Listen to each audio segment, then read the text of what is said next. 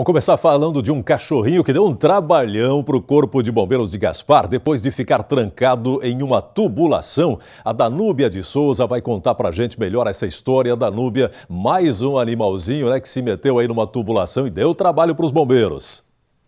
Bota trabalho nisso, Joelson. Essa ocorrência foi ontem por volta das 5 horas da tarde, na rua 7 de setembro, ali em Gaspar. O que, que aconteceu? Os funcionários de uma empresa ali nas proximidades estavam escutando latidos, mas não sabiam de onde vinham. Aí começaram ali a procurar, a procurar. De repente, eles perceberam que havia um cachorrinho preso na tubulação de drenagem nos fundos de um terreno ali na rua 7 de setembro. Eles chamaram então o corpo de bombeiros, que foi prontamente lá para o local, para o local, né? E ali deu um maior trabalhão. Precisaram até é, da ajuda de uma retroescavadeira do SAMAI. Os voluntários da GAPA, que é aquela Associação Gasparense de Proteção Animal, também foram para o local ajudar. A gente percebe ali pelas fotos, pelas imagens, que quando eles terminaram já era noite, já estava escuro. E olha só a felicidade do pessoal e do cachorrinho também. Deu tudo certo, conseguiram retirar ele sem nenhum ferimento. Por precaução, os voluntários da GAPA encaminharam ele para uma clínica veterinária. Mas a princípio está tudo certo com o bichinho. Como não localizaram o dono, então ele vai ficar aos cuidados da GAPA. E agora eles precisam encontrar um lar para esse o Gasparinho, né? Já chamei ele de Gasparinho ali, né? E aí precisam encontrar um lar para ele. Até já fica a recomendação, Joelson, quem tem um bichinho de estimação, manter sempre no cercado, né, para não acontecer situações assim como essa. É, é, comum esse tipo de acidente acontecer, infelizmente. E Sim. quando as pessoas não escutam, o animal morre lá à míngua. É. Então, manter o animal no local cercado, né, colocar aquela coleirinha com identificação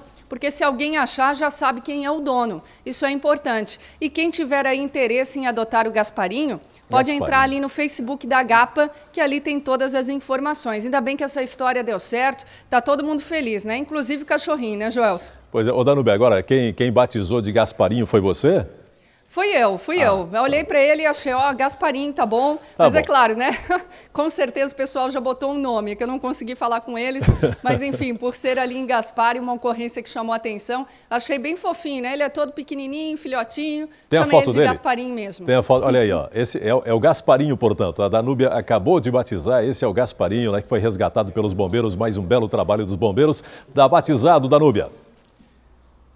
Oi, Joelson. Tá batizado, tá batizado. Tá batizado. Inclusive, quero parabenizar aí os bombeiros, né? É, realmente eles salvam todo tipo de vida. Sim. E eles atendem às mais diversas ocorrências, desde acidentes, situações, né? Por exemplo, uma parada cardíaca, são verdadeiros guerreiros. E ontem foram numa ocorrência como essa que deu maior trabalhão, é, tiveram de chamar retroescavadeira. Os voluntários, que a gente também precisa valorizar, porque eles não ganham para isso, não são autoridades, e os voluntários da GAPA foram para lá também para salvar o bichinho.